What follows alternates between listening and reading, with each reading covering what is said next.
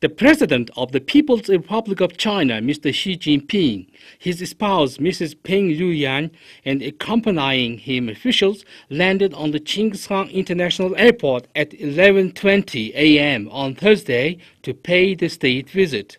The dignitaries were welcomed by the Guard of Honor and Mr. Altankhuyag, the Prime Minister of Mongolia, and other officials.